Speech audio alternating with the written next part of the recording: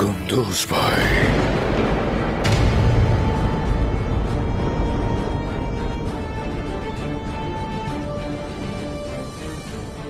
वो जिसे भाई कहा जिस पर हमेशा भरोसा किया वो कुंदूस भाई।